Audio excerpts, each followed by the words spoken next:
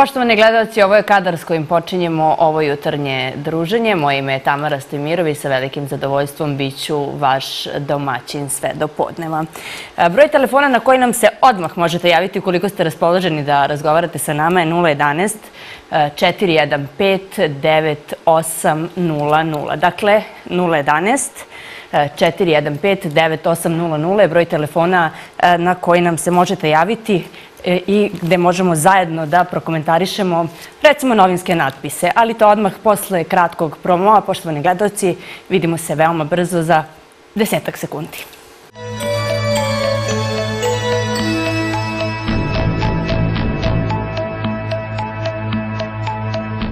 Predstavljam vam televiziju koju gledate bilo gde u svetu. Net TV Plus. Najveći broj naših kanala, nacionalni, sportski, filmski, dečiji, informativni, zabavni, ma ima sve. Sve što ti treba je internet i Net TV Plus box i tvoj televizor ima preko 200 kanala. Ovo je najbolji trenutak da pozoveš, jer sada je 50% niža cena boksa. I obavezno nas preporučite prijateljima, jer dobijate jedan mesec besplatno. Oboje. Pogledaj ovde i telefon u ruke. Pozovi odmah ili poseti nettvplus.com. To je naša televizija bilo gde u svetu. To je Net TV.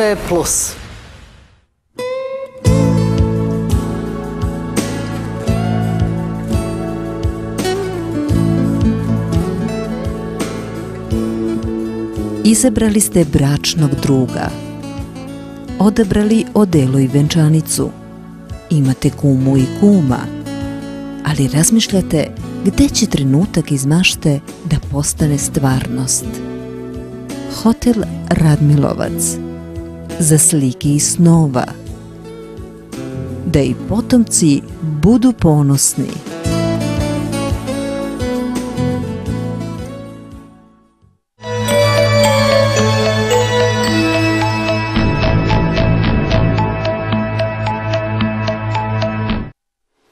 Dakle, poštovani gledalci, broj telefona na koji nam se možete javiti je 011 415 9800. Ali pre toga e, da pročitamo koje su to maksimalne dnevne temperature za danas u većim gradovima u Srbiji. Subotica 18, Novi Sad, Beograd, Kragujevac e, takođe 18, Loznica i Užice 19, Niš 19, Negotin 20, Sjenica 13, Vranje i Priština 17 stepeni. Evo da pogledamo kako izgleda naslovna strana dnevnog lista danas. Kolega Nušić će malo da vam približi a ja ću kasnije i da vam pročitam e, o čemu su to pisale naše kolege iz dnevnog lista danas. Možemo sad ovako da pogledamo svi zajedno.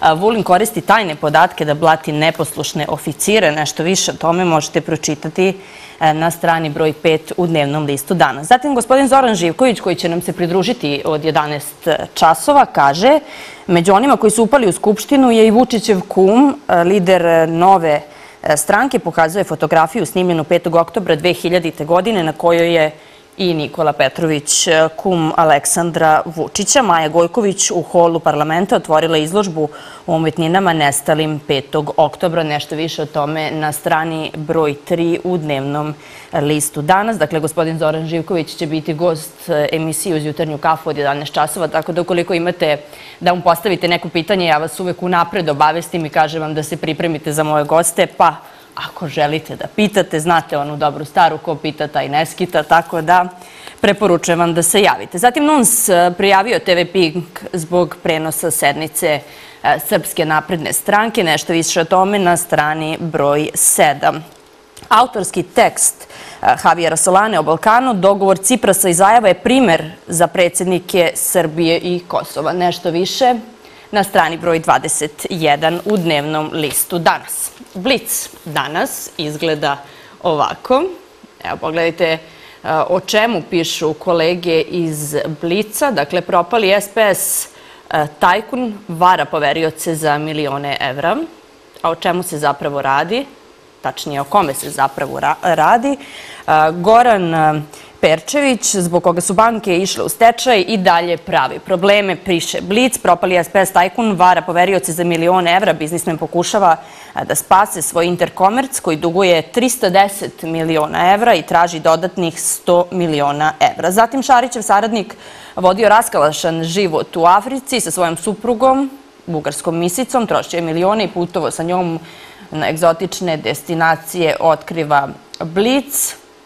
Zatim, Blic takođe otkriva da MMF nije tražio povećanje e, cene kilovata, dakle struja neće poskupeti po pisanju e, dnevnog lista. Blic, naravno, evo jedne lepe vesti od bojkaši u polufinalu, sledi borba za medalju i naravno mi smo e, svim srcem uz naše odbojkaše. A ovako izgleda naslovna strana dnevnog lista. Kurir, kurir donosi priču, dakle najnoviji forenzičarski e, dokazi. Zoran je video Jelenino ubistvo, radi se o Zoranu Marjanoviću i ubistvu koje je zaista potreslo čitavu zemlju, ali i region i o tome se e, i dan danas mnogo priča, mnogo piše, mnogo razmatra.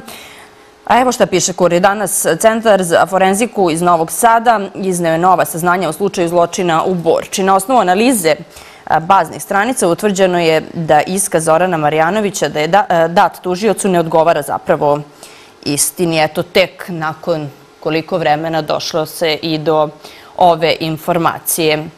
Nove optužbe protiv Srba kojima se sudi za ubistvo Amerikanaca. Radi se o nesrećnom slučaju na Zakintosu. Montiran snimak tuča na Zakintosu. Postavlja se pitanje, ali nešto više o tome svakako možete pročitati u kuriru. Zatim teroristi ove kao opasno prete, zapalit ćemo Prištinu. Kurir takođe bavi i nekim temama iz sveta estrade koje eto, možda nekog, i verujem da svakako interesuju pojedince solista, tako piše Kurir, kada govori o ministru kulture koji prkosi kolegama u vladi. Vukosavljević stao uz Đilasa. Dakle, iako su premijerka i ministri Stefanović i Vulin označili lidera e, Saveza za Srbiju kao rodonačelnika realitija, Vukosavljević uzvratio da su njegovi programi bili dečije obdanište u odnosu na ove današnje. Eto, u prvih nekoliko, eto, teme za naše razgovore u prvih 15 e, minuta emisije uz jutarnju kafu. Možemo da se pozabavimo i time za sve one koji se sećaju nekada, e, tačnije prvih reality show programa u Srbiji, evo ja ih se sećam, a nemam baš mnogo godina, pa da vidimo, da uporedimo kako je to nekada bilo, kako je to sada, da li su se neke granice pomerile, gde je zapravo granica, da li to uopšte znamo i da li je imamo. O svemu tome možemo da razgovaramo u nastavku naše emisije. Broj telefona vidite vi na vašim malim ekranima, dakle 011 4159800. E, koliko god da ne pričamo, tačnije bar mi na našoj Balkan televiziji se ne bavimo realitijima, e, politički reality se konstantno prožima nekako kroz priču svih političara, pa eto možemo da se dotaknemo i tog realitija. Da li on zapravo postoji i ko je pobednik? Eto, to neka bude pitanja. Svi koji žele da se jave, to mogu učiniti na naš broj telefona. Umesto tri porodiljama pet prosečnih zarada, bar tako kaže Slavica Đukić-Dejanović koja je dala intervju za kurira. Evo e, i jednog lepog primjera, deca a ljudine, tako piše kurir, gestos maka iz Niša, odrekli su se ekskurzije zbog bolesnog druga. Učenici 8.1. osnovne škole Ratko Vukićević odlučili su da ne odu na matursko putovanje. Novac će uplatiti za lečenje Petra Grujića koji boluje od teškog oblika tumora. Zaista Evo i mi ćemo da, da podržimo ove mlade mališane, ali i da zamolimo sve da pošalju 550 na 3030, dakle za sve one koji žele da pomognu ovom dečaku da se izbori sa teškom, teškom bolešću. U kuriru možete pročitati i mnogo interesantnih saveta. Tu su svakako vesti iz sveta a ja pokušavam da pronađem ono što je meni bilo interesantno. Dakle, da. Evo čega se sve dobija rak. O tome piše Kurir, možda nije tema za jutro, ali svakako isto ne možemo da, da ćutimo. Dakle, Nobelovac otkrio kako nastaju tumori, koja hrana kiseli telo prema njegovim e, rečima. Dakle, sve vrste mesa, proizvodi životinskog porekla, mleko, sirevi, pavlaka, jogurt, dakle, rafinisano brašno i svi njegovi derivati kao što su testenina, torte, keks, hleb, margarin, kofein, alkohol, duvan, svi industrijski, e, sva industrijski prerađena i konzervirana hrana, antibiotici i uopšte svi lekovi. Sada možemo e, da se malo e, i dublje pozabavimo ovom temom. Osnovni uzrok kancera službeno je otkriven 1923. Vrlo mali broj ljudi u svetu zna za to, jer je ta istina, nažalost, sakrivena od javnosti. Eto, o tome piše e, Kurir danas, tako da ne bi bilo loše da ukoliko e, imate možda e, neki zdravstveni problem ili ukoliko ga nemate, želite da sačuvate svoje zdravlje, svakako da pročitate ovaj tekst i da na neki način povedemo malo računa, jer korigovanje ishrane je i tekako važno da bismo sačuvali naše zdravlje. Znate i sami kako svi kažu, brzo živimo, brzo se hranimo i to na kraju e, krajeva i donosi neke posljedice koje su uglavnom loše po naše zdravlje. Sada kada se razbolimo, niko ne kaže to je zato što sam godinama jeo nezdravu hranu. Svi odmah naravno traže e, razlog u nekim E, traže neki drugi razlog zašto je to tako, ali u svakom slučaju e, treba da povedemo računa i o ishrani naročito, ja bih rekla. Dakle, eto, o tome e, danas piše Kurir, zatim Srbija i pored poraza od Poljske ide dalje, to je priča sa naslovne strane o našim odbojkašima, Orlovi u polufinalu. E, dakle, srpski odbojkači i reprezentativci plasirali su se među četiri najbolje reprezentacije svijeta, iako su u drugom i poslednjem meču treće faze poraženi od Poljaka. E sada, ukoliko ste to propustili, možete na strani 33 u kuriru pročitati e, nešto opširni izveštaj. Da, a evo i jedne hit priče, kako piše kurir, Srbin sudio u kineskom prvenstvu, kad Mažić isključi tako e, takav je naslov, e, o čemu se radi, možete pročitati na strani broj 36 u kuriru. Da. E sad izmišljena je jedna izjava koja je napravila e, čitavu pometnju. Nećemo pogledati ovo, pogledat ćemo ovo. Laž Nikolina zavadio večite. Radi se o sudiji, ako se ja ne varam, a čini mi se da ovaj lik nisam uspela da zaboravim, iako sam žensko, iako je davno sudio na nekoj važnoj utakmici. Da, na snimku se jasno vidi da golman barem pola metra vadi loptu iz gola. Da sam ja bio sudija, također bih priznao gol. Ove inskonstruisane reči slavnog sudije izazvale su haos na Topčiderskom brdu. Naravno, za sve one koji možda ne znaju, ali pretpostavljam da je takvih danas malo, obzirom na to da se mnogo pričalo o tome da li je Crvena zvezda postigla gol protiv Partizana, da li je lopta ušla u mrežu, da li je Vladimir Stojković intervenisao na vreme, pa se posle mnogo polemisalo i o njegovim izjavama. Tu su podeljeni navijači, naravno zvezdaši podržavaju zvezdaše partizanovci, pak i oni su neki osudili ishitrenu izjavu Vladimira Stojkovića, koji se kasnije malo i pokajao, ali ljudski je praštati, kao što je ljudski grešiti, tako da e, treba da se nekako koncentrišemo na dobre i pozitivne, e, pozitivne e, stvari koje nas okružuju. E, poštovani gledoci, ja moram da vam najavim da od 1. oktobra, ekskluzivno na našoj Balkan televiziji kreće TV regionalni infoprogram televizije Al Jazeera. O tome ćemo razgovarati u nastavku emisije. Na moje veliko zadovoljstvo gospodin Edo Čelebić e, bit će moj gost, tako da svi vi koji pratite našu Balkan televiziju, svi vi koji nam se javljate i pišete u tolikom broju i kažete da smo vam nedostajali sve ovo vreme tokom opravdane kratke letnje pauze, eto moći ćete da čujete šta vas sve to novo očekuje na našu našoj Balkan televiziji u e, nastavku našeg e, programa koji će biti sve bogatiji i sve sadržajniji, a ono što je najvažnije, potrudit ćemo se da ostanemo nezavisni.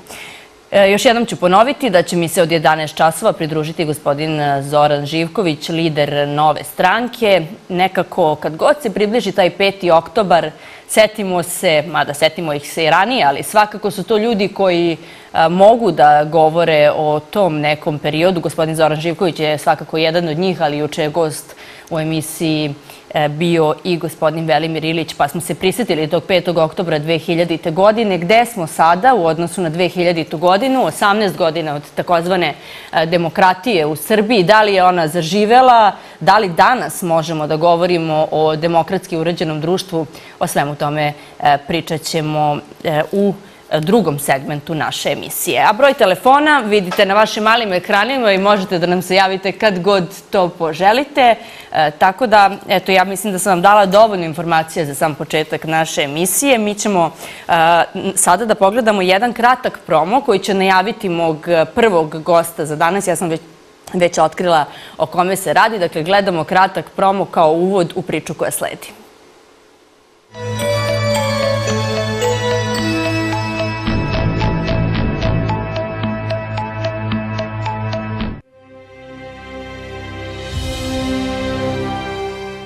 Od ponedeljka 1. oktobra ekskluzivno na našoj Balkan televiziji. Regionalni informativni program televizije Al Jazeera. Naša televizija, televizija istine, bit će izvor sveobuhvatnog informativnog programa. Vesti iz zemlje, regiona, sveta, sve na jednom mestu. Ostanite uz nas.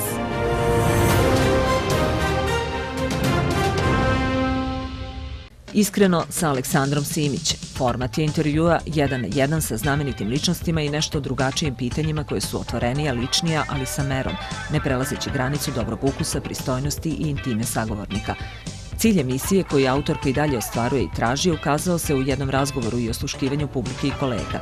U želji da svi pronađemo bar jedan odgovor za sebe koji nam je potreban. I gledalac i sagovornik i voditelj svi zajedno otkrivaju, pitaju se i uče – Brojni glumci, muzičari, sportisti, stručnjaci, osobe različitih zanimanja i sudbina vrlo iskreno odgovarali su i odgovaraju na pitanja. Za ove tri godine u emisiji Iskreno sa Aleksandrom Simić gostovala je blizu 100 značajnih imena naših života. O svojoj iskrenosti i sami svedoče i potvrđuje je, iako mnogi ne veruju reč iskreno kada se govori na televiziji. I dalje idemo putem istine, ali i ljubavi, Svaki ovaj intervju, svaka emisija rađena je sa velikom i jakom emocijom, sa odgovornošću i pomalo prisutnom tremom. Valja je uvek imati bar malo, jer čoveka drži budnim i opominje. Misija iskrenosti i emisije Iskreno sa Aleksandrom Simić se nastavlja.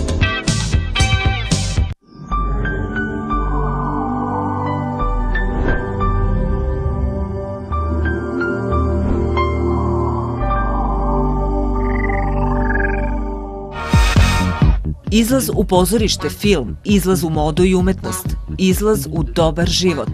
Nova emisija Aleksandre Simić na televiziji Naša. Izlaz.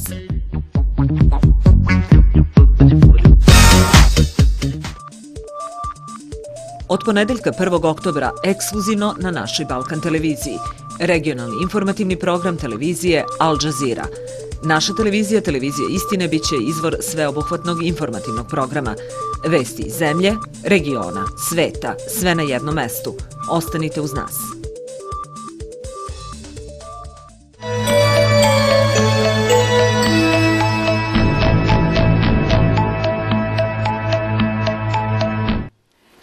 A u nastavku sledi opširnija priča, kao što rekoh, e, meni će se pridružiti, odnosno pridruži mi se gospodin Edo Čelibić, urednik vesti Al Jazeera. Dobro jutro, dobro mi došli. Dobro jutro, bolje vas našli. Kako ste?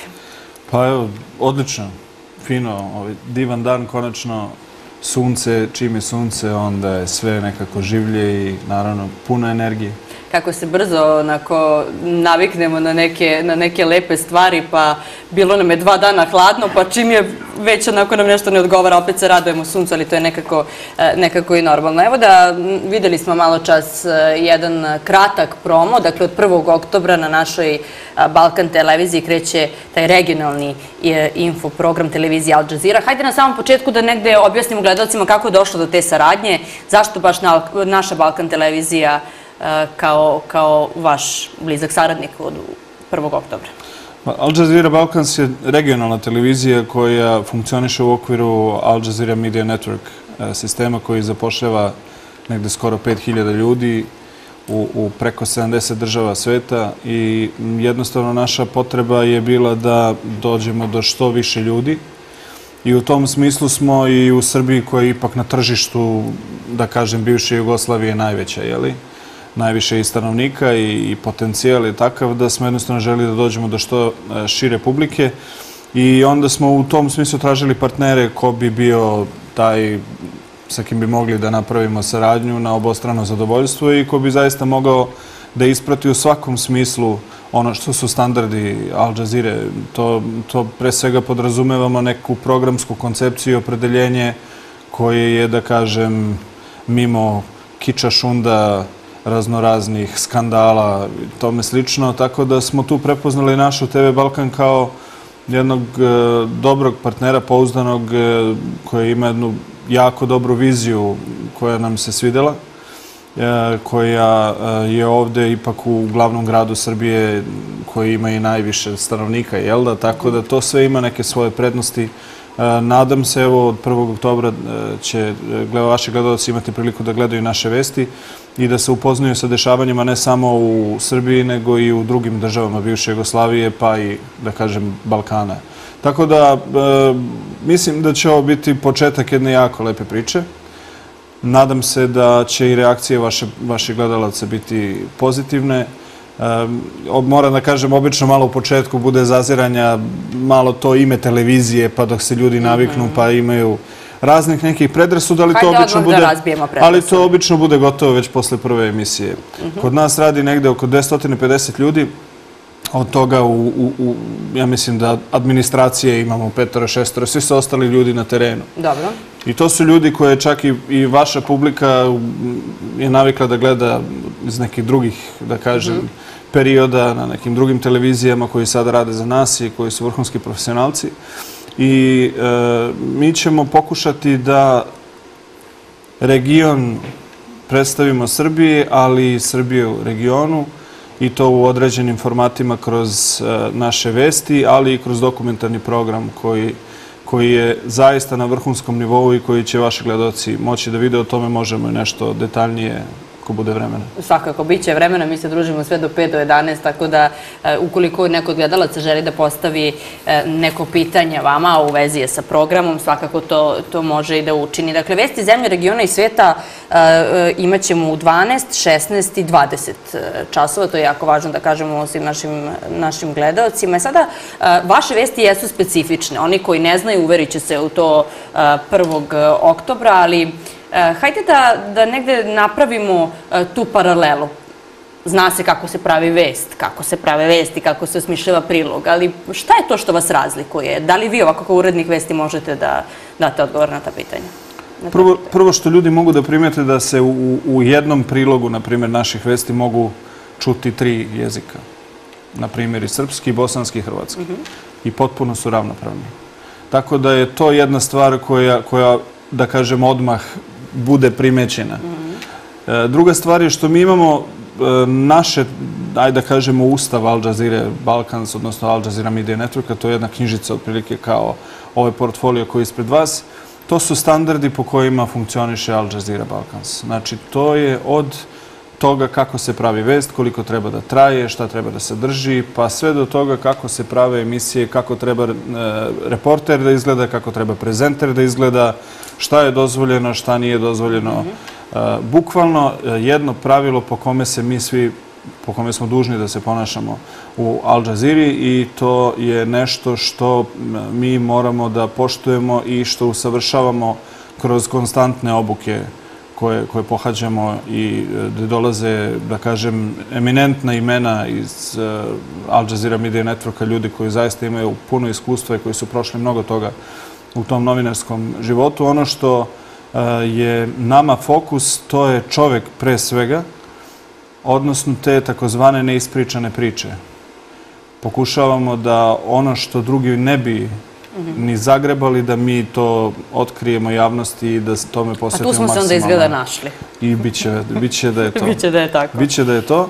I mi e, pokušavamo da e, izbegnemo bilo kakvu formu skandala, nekih poluproverenih, neproverenih mhm. informacija. Nemamo tu, to moranje da budemo najbrži, da pošto potom mi moramo da budemo, ono kad kažu ekskluzivno saznaje, ekskluzivno objavljuje samo na našoj televiziji, ne mislim na našoj Balkan TV, nego samo na našoj televiziji. Mi nemamo tu vrstu pritiska, ali smo zato imali tu privilegiju da se nikad nismo demantovali. Dobro, što je jako Tako da, važno. tako da je u suštini najvažnija stvar da ljudi koji gledaju Al Jazeera Balkans znaju da gledaju televiziju koja ih sasvim sigurno nikad neće slagati. Kvalitet, ne kvantitet. Ljudi kažu da, da, da objektivnost ne postoji. E, ja zaista, ako može da se kaže da čovjek živi svoj novinarski san, onda sam ja dobio tu privilegiju da ga zaista živim.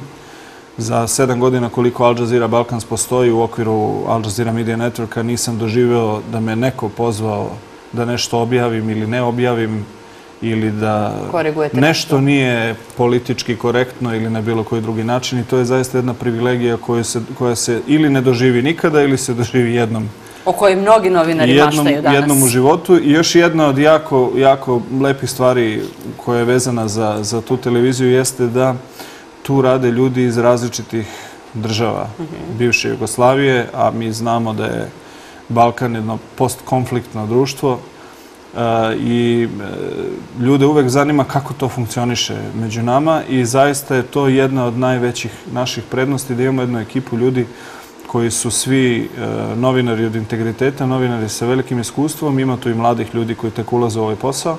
I zaista je to jedna divna ekipa koja radi ogroman posao na tome da i o nekim škakljivim temama govori na takav način da svima bude razumljivo, ali da se pre svega prenese ono što je činjenica. Imamo nekoga na telefonskoj vezi, ako se ne varam. Dobro jutro, poštovanje. Dobro jutro, dobar dan. Tamara, pozdravljam vaše gosta i vas. Hvala. Lepo vodite uvijek tu emisiju i ne, ne trebam to ponavljati, to vama ponavljaju stalno, ali e, drago mi je da e, vi e, dovodite još jednog e, značajnog promotera informativnog koji je poznat u svetu, a to je Al Jazeera.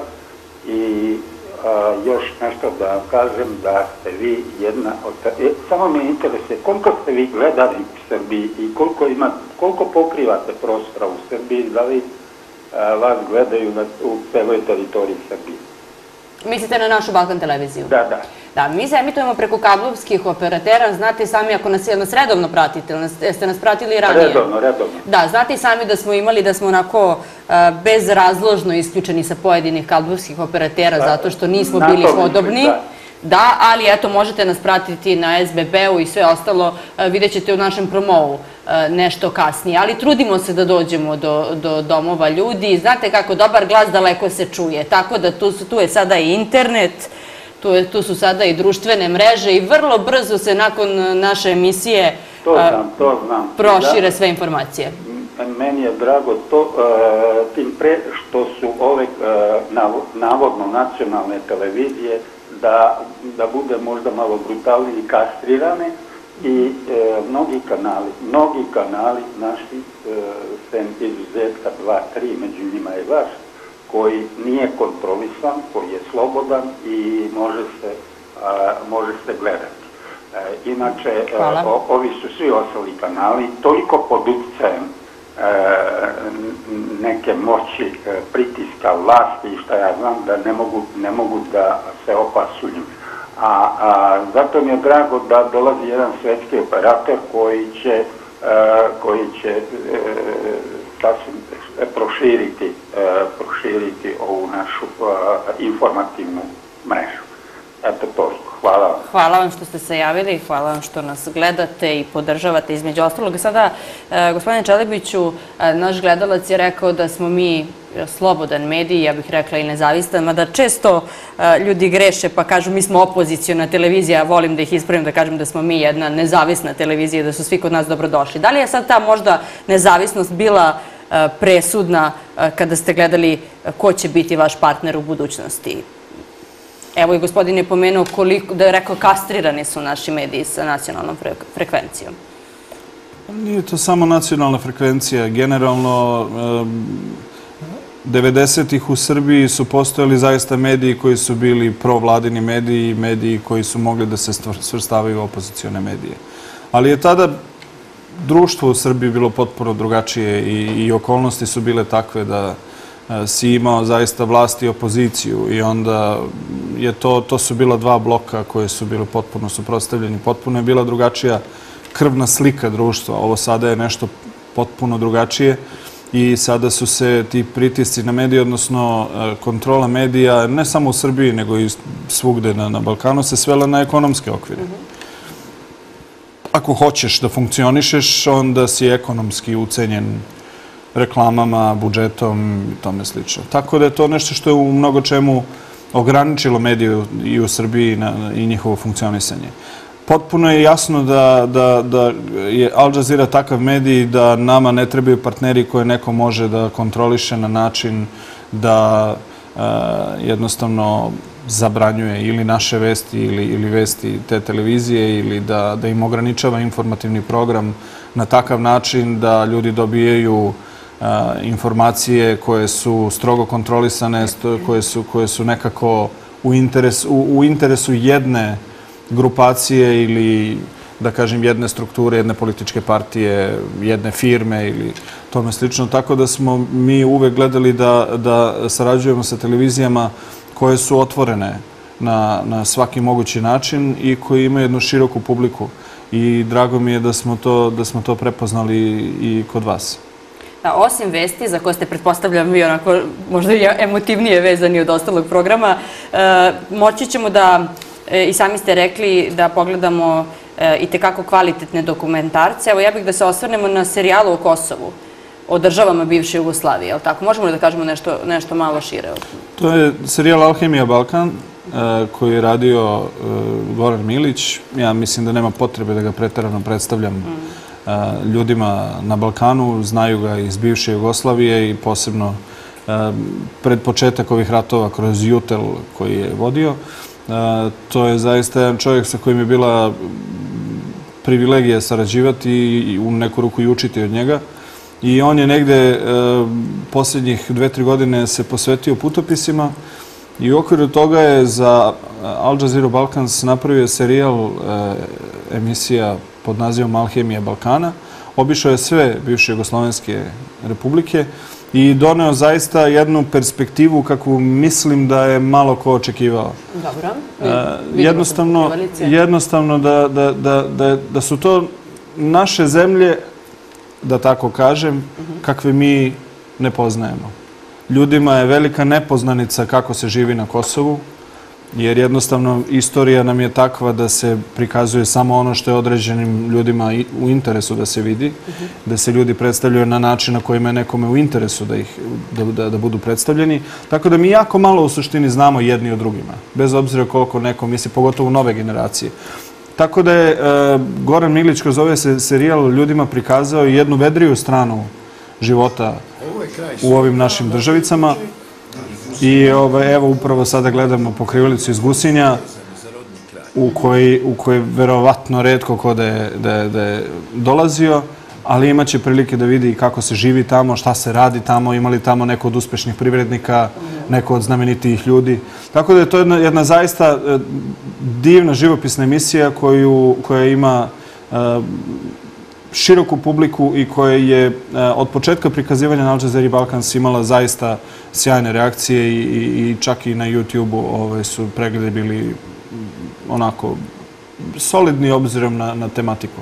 Pošto znamo da danas ljudi vole krv, strast, e, zločine i tome slično. I kazne. Pa onda, i, da, i ka, naročito kazne. Naročito kazne, ali dobro, ovo nije lepši prikaz, već jedan realan prikaz, čini mi se. Ne, ne može se reći realno zato što re, šta je realno? Realno je... Realno je ono što zateknete na licu mesta. Um, to je realno. Pa ne mora da znači. Dobro. Ako dođete ispred zgrade koja izgleda onako sva šljašti, neki barokni stil osvetljena, uđeš unutra, totalni raspad, šta je tu... Ali ako ste dobar novinar, onda ćete svakako i ući unutra. E, malo je teško, malo je teško u 27 minuta e, ljudima dati potpuno realnu sliku života u određenom mestu, ali ono, ono što je bitno jeste da se nađe neka specifičnost, da se nađe nešto po čemu se određeno mesto izdvaja u odnosu na druge i da se to pokaže. Nešto na što čovek ne bi jednostavno obratio pažnju kada dođe negde. Tako da je to osnovna misija bila ove emisije, znači da, da, da pokaže ono što mi možda ne bi ni videli ako recimo prvi put dođemo u neko mesto. Kao ja nisam ni znao recimo da Cristiano Ronaldo nosi kopačke koje se proizvode u jednom malom mestu u Bosni i Hercegovini. Stvarno? A eto. Dobro, dobili smo i tu informaciju. Eto, nekad, kad, ljudi kad dođe to na red, vidjet će. Vidjet će i to. Dobro. E, Lopta, kakav je to serijal? Pa za sve muškarce je odličan. dobro. Žene, I za ne znam, žene? žene vidjet ćemo, ne znam, ovaj, verovatno ima sve više žene koje prate futbol, tako da će imati Ako prilike ni zbog da... koga, onda zbog Cristiano Ronaldo. Pa dobro, više zbog naših. Dobro, Više dobro. zbog naših. Dobro, evo sada gledamo i pokrivalice da vidimo. Evo Zlatka Vujovića. Mhm. Evo, to su sve ljudi koji su nekada nešto značili u jugoslovenskom futbalu i koji pričaju svoje priče o svom futbalskom razvoju, o bivšoj državi i o tome kako futbal funkcioniše sada. Tako da mislim da će biti jedna dobra uvertira i u Ligu šampiona i u Ligu Evrope i ova domaća prvenstva. Biće zanimljivo ljudima da, da dobiju jednu drugačiju perspektivu futbola. Da, kontesti i kontrasti. To su emisije koje su dijaloškog formata, kao što je i ova koju, u kojoj sam ja sada, a, koja se bavi određenom tematikom koja je aktuelna za, e, u slučaju emisije Kontekst, za sami region. Obično su gosti iz dve ili tri države e, balkanske, a što se tiče emisije Kontrasti, tu imamo emisiju Kontrasti Srbija, Kontrasti Hrvatska, Kontrasti Bosna i Hercegovina, tako da se obrađuju aktuelne teme iz jedne države. To je u suštini jedna razlika a, u, u, koja, koja razdvaja te dve emisije, ali je forma dijaloška i gledamo da suprotstavimo različite stavove na određene teme. Da, imamo nekoga na telefonskoj vezi. Dobro jutro, poštovanje. Alo, Dobro jutro. dobar dan. Dobar dan. Pozdravljam vas i vašega gosta. Ovo je jedna dobra vijest.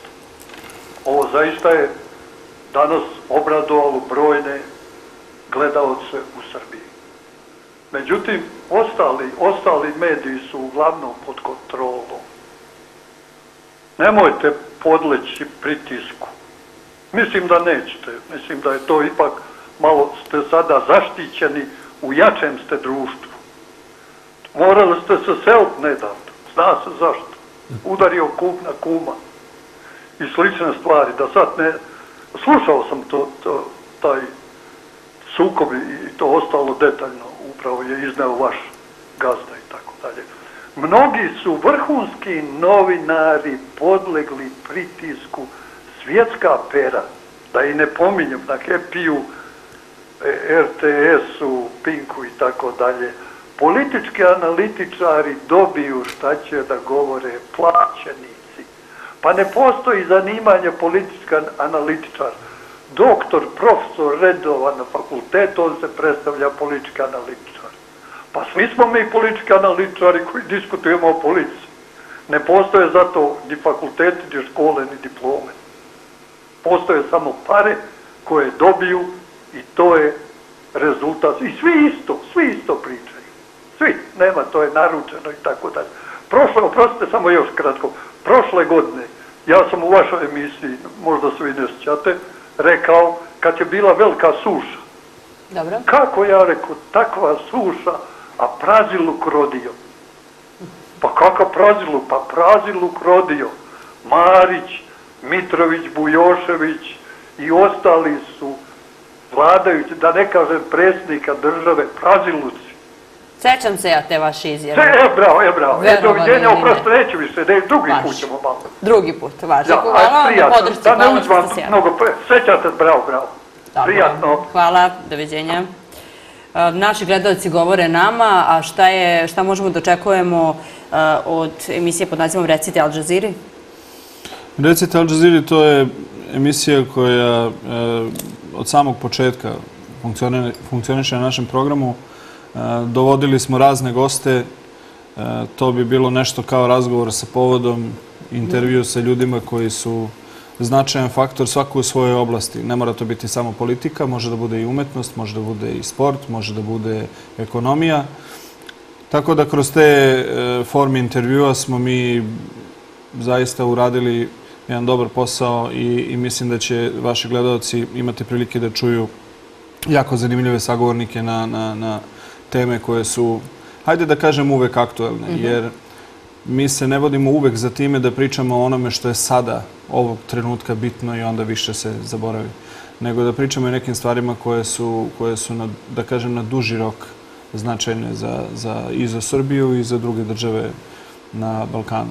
Da, čini mi se da smo upravo razbili jednu predrasudu, a to je za one ljude koji zaista nikada nisu pratili vaš program, a takvih je malo, ali ih ima, da je Al Jazeera isključivo informativni program i da ništa osim toga ne možete, ne Pa, možete vidjeti. Mi smo konačno posle sedam godina uradili jednu stvar koja je kapitalna za, za, za čitav Balkan, a to je da smo a, pokrenuli a, AGB Doc Film Festival, znači to je festival dokumentarnog filma, gde je jednu od nagrada dobio Aleksandar Eljić, moj prijatelj i, i jedan vrsni reditelj srpski, za film Unuk, odnosno Enkel. Ne bih sad detaljisao o filmu, imaće ljudi, nadam se, priliku da ga vide. Uglavnom, bilo je preko 20 nešto filmova, preko 3000 posetilaca. To je bio jedan fantastičan događaj i to organizovati i sprovesti, naročito kada imamo vidu da je prvi put, je zaista veliki poduhvat. I to je izgledalo fantastično. Nadam se da će bar deo tog dokumentarnog programa i vaši gledalci moći da vide kroz vaš program onda kada za to dođe vreme. U svakom slučaju, um, ste, ja sam rekao i, i, i negde na početku mog ostavljanja da, da su stereotipi tu samo u onom prvom trenutku dok ljudi svare samo ime televizije, jer na to sam nailazio najčešće Da, da. kao na neku vrstu, ajde neću reći prepreke, nego jednostavno ljude malo zbunjava. Aha, Kao alo, opet neki Arapi Jazeera, kod nas. Šta sad to, koji... I pitaju mi ljudi šta vi sad tu, što vi, šta, šta ćete vi na Balkanu? Šta- Zašto sad to? Dobro.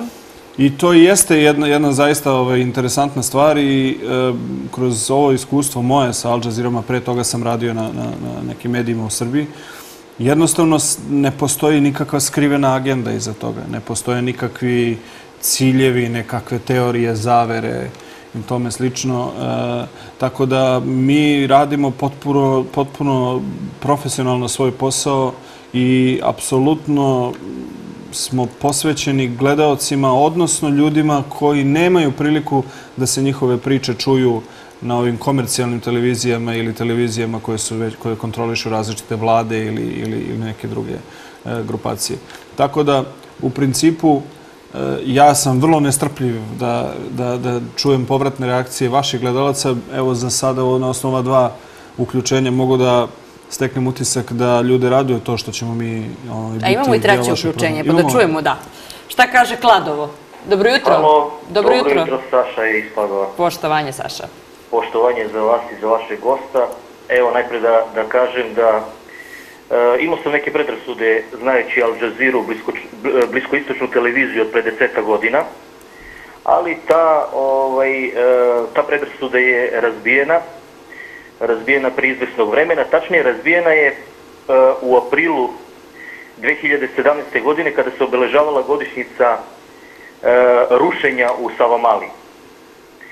Tada sam ja video prvi put, e, slobodno mogu da kažem prvi put, objektivno izveštavanje Al Jazeera sa tog protesta. I tada sam taj njihov video materijal iskoristio, pošto je diktatorski režim Aleksandra Vučića rekao da je to bilo svega par hiljada ljudi, 5-6 hiljada, a na snimku Al Jazeera se najbolje videlo da je tu bilo e, preko 100 hiljada ljudi na tom protestu. I tada sam iskoristio taj materijal i tada sam javno prvi put e, spomenuo Al Jazeera i pohvalio kamermana koji u jednom trutku digo kameru iznad i masa ljudi je prošla. E, e, sada hoću da postavim jedno konkretno pitanje za, za, za vaše goste. Izvolite, Saša. E, u Srbiji ima jako puno ljudi koji, ovaj, koji su, e, slobodno mogu da kažem, od učenih ljudi, od akademika, od predsjednika raznih sindikata, predsjednika raznih opozicijonih stranaka i tako dalje i tako dalje. Evo na jednoj televiziji, nećemo da spomenemo kojoj, e, sad skoro je bila jedna priča o e, oficiru koji je napustio vojnu službu. Hoću da pitam vašeg gosta, da li će da se spusti na taj nivo da jednostavno ispričamo te neke priče koje će jednostavno ljudima da ukažu na to da u Srbiji trenutno vada medijska cenzura i delimična diktatura i da zbog toga ovaj neki ljudi uopšte ne mogu da, da stupe nekim televizijama. Mogu veoma kratko da, da spomenem neka od imena.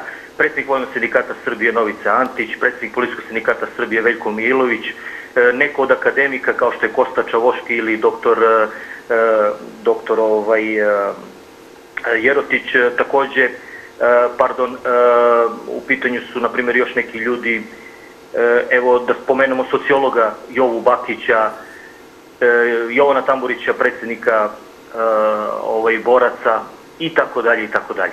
Spisak je jako dug ljudi koji ne mogu da se pojave u cenzurisanim medijima u Srbiji. Dobro. E, hvala što ste se javili, Saša, naš redovan gledalac, pa eto znamo i odakle se javlja i kako se zove. Šta kažete vi, gospodine Čalebić?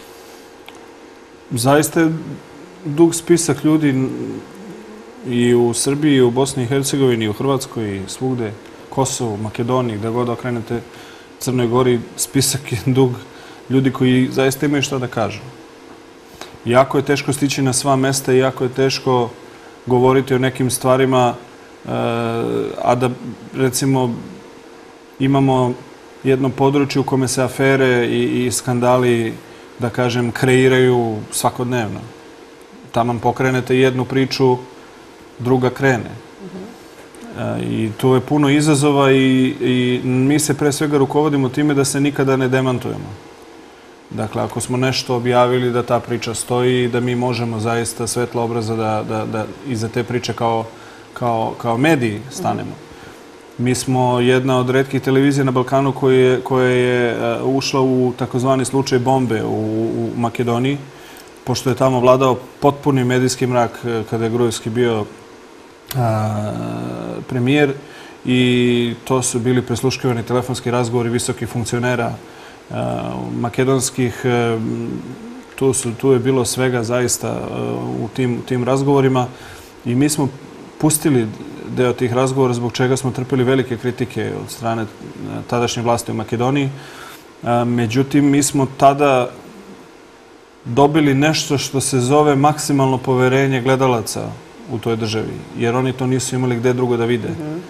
I mi smo tada stekli zaista vernu publiku koju, koju dan danas imamo. I u tom smislu mi smo zaista posvećeni tome da ljudi koji nemaju priliku da se čuju, da zaista dobiju priliku da nešto kažu. Ali opet, vraćam se na početak mog odgovora, mnogo je takvih ljudi, mnogo je takvih priča. Nekada neke i ne stignu na red, ali to nije zbog toga što ne zaslužuju, nego što jednostavno ovaj deo sveta proizvodi toliko istorije da jednostavno ne može da je svari. I onda je jako teško zaista sve nepravde na njih ukazati, pozvati nadležne da reaguju ili kritikovati ako ne reaguju. To je zaista ogroman posao. I ljudi koji rade u medijima vrlo dobro znaju o čemu pričam. Da. E, Saša koji se javio pomenuo je proteste, e, pa sa tim u vezi možemo da najavimo i e, i del 68, je li tako? To je o protestima u, u Beogradu rađen dokumentarac. To je dokumentarac, pošto je ove godine, ajde da kažemo, 50. 50. godišnjica studentskih protesta u Jugoslaviji, koji su bili samo jedan deo nekih opštih promena u svetu i, Evropi te godine. Dokumentarni film su radile moje kolege Marko Subotić iz našeg Beogradskog dopisništva i Almir Šećkanović iz Sarajeva i film je imao svoju premijeru u Beogradu, jako dobro je prošao. I evo sada sa zadovoljstvom mogu da kažem i da će gledalci naše Balkan televizije moći da vide taj film. On govori, mislim da, mislim da je to jedna jedinstvena prilika da smo mi sve te učesnike tih protesta i ne, neki njihovih vođa skupili na jedno mhm. mesto. To je interesantno. I da oni sada mogu da ispričaju kako sa ove vremenske distance posmatraju ono što se tada desilo i ono čuveno Titovo da su studenti u pravu.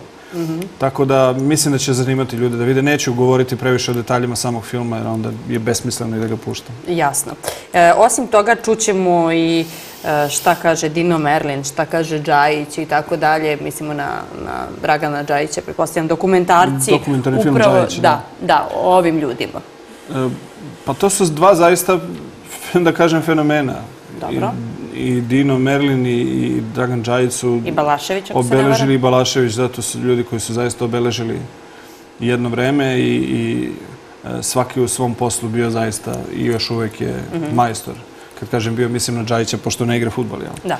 Ali u svakom slučaju to su, to su dokumentarici koji su rađeni, rađeni relativno skoro. Uh, Balašević je skoro uh, i emitovan na našoj televiziji i mislim da to nije kraj ovakvih poduhvata što se tiče Al Jazeera Balkans.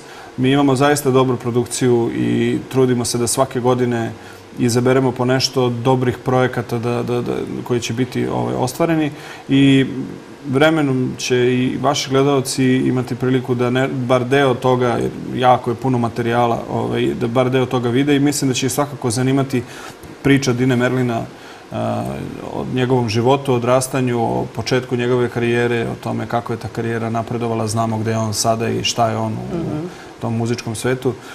Tako da, eto, ja sam nestrpljiv, nadam se i vaši gledalci da to, kad će već jednom taj 1. oktober? Da, pa evo, vrlo brzo. Pre nego što još jednom ponovimo našim gledalcima šta će se to dogoditi 1. oktobra za sve one koji su nam se možda kasnije priključili, objektiv, jedna aktuelna priča u ovom trenutku o hidroelektranama na, star, na Staroj planini.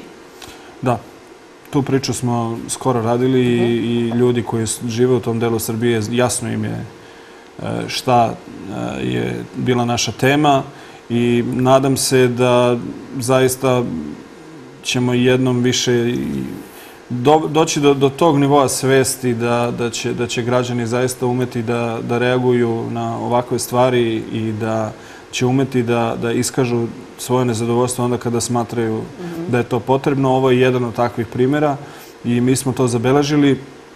Na nama nije da mi ulazimo u to ko je u određenoj situaciji, da kažem, neću reći u pravu ili nije, ali naše je da ispričamo tu priču ljudi koji smatraju da im ne trebaju mini hidroelektrane, da će to uništiti ekosistem, da će, da će e, trajno uništiti i, i dole izvore koji postoje na Staroj planini. E, mi smo to jednostavno prikazali, zatražili smo odgovore od nadležnih u vezi sa tim i vidjet ćemo šta će, šta će se desiti. Tako da mi smo tu da, da određene teme pokrenemo, da određenim temama izveštavamo, Na nadležnima je da rade svoj posao u najboljem interesu građana, a na građanima je da kontrolišu tu istu vlast i da reaguju svaki put kada misle da su njihovi interesi ugroženi. Eto značaj medija. Kada se pojavite i kažete U suštini, ja mislim da je to naša najvažnija uloga. Da smo mi ona posljednja linija odbrane između građana i, i, i vlasti i da smo mi ta neka vrsta filtera da, da kroz nas treba da prođe sve ono što bi bilo, da kažem, bitno za jedno društvo. Ali isto tako kao što je naša uloga kontrolna, tako, tako mediji mogu da bude jedno jako opasno oružje. Mi smo to na Balkanu dobro zapamtili kroz 90. Mi to pamtimo i dan danas. Evo vi ste e, u pregledu štampe pokazali jednu naslovnu stranicu. Radi se o jednom ubistvu za koje je meni prosto neverovatno da se provlači kroz medije toliko i na takav način da se ja zaista pitam šta će to dete koje, koje, koje odrasta, da kažem, bez majke, šta će ono jednog dana kada, kada bude dovoljno svesno i, i da kažem, kada stasa moći da, da čita na internetu o, o svojim roditeljima i o svemu ovome. a o tome niko ne razmišlja. Pa mislim da bi o tome pre svega trebalo da razmišljaju urednici medija koji, tu, koji, koji zaista tu priču guraju i mislim da bi e, i ono zbog čega sam ponosan e, na to što radim u mediju, u, tom mediju jeste što, što apsolutno ne postoji mogućnost da se takve stvari e, čak i razmatraju da se, da, se, da, se, da se pojave na takvom mestu. Mi jesmo radili dokumentarne filmove, recimo a, o, o atentatu na jednog od lidera palestinskog pokreta otpora. A, Radili smo i recimo ko je ubio Arafata, to je bila jedna od naših najvećih, da kažem, priča. Dakle, mi tretiramo teme koje, ali one koje su od značaja za, za društvo i koje zaista mogu da budu um, da kažem, da promene neki ili tok istorije ili su ga promenili. Jasno. Tako da sve to kad se stavi u pravi kontekst, onda, onda zaista lako isfiltrirati šta je nešto što bi trebalo ovaj, pokriti, a šta je nešto što jednostavno treba prepustiti nekim drugim organima da se time bave. Jasno. Od 1. oktobra, eto još jednom da ponovimo za sve ko ćete vi svečano da najavite ekskluzivno, ekskluzivno na našoj televiziji, TV regionalni info program, televizija Al Jazeera. Dakle, poštovani gledalci, e, naša televizija biće izvor sveobuhvatnog informativnog programa, vesti zemlje, sveta i regiona u 12, 16 i 20 časova, a možda i nešto kasnije, o tome ćemo vas svakako obavestiti.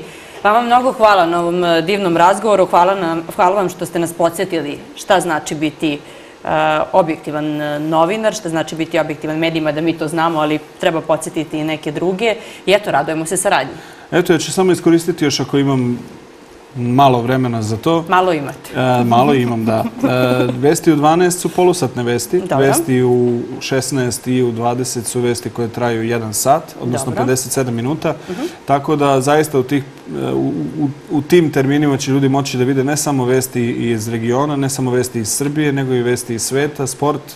E, tako da mislim da će, da će zaista moći da vide jedan dobro izbalansiran profesionalni odnos prema, prema informacijama i jako mi je veliko zadovoljstvo što smo vama našli partnere za e, tako nešto i nadam se da će i doprinos naše TV Balkan našem programu biti, biti e, ajde da kažemo, dobar i da će to biti jedna dvosmerna saradnja. Zadovoljstvo je obostrano svakako. Hvala vam mnogo na izvojenom vremenu. Hvala vam.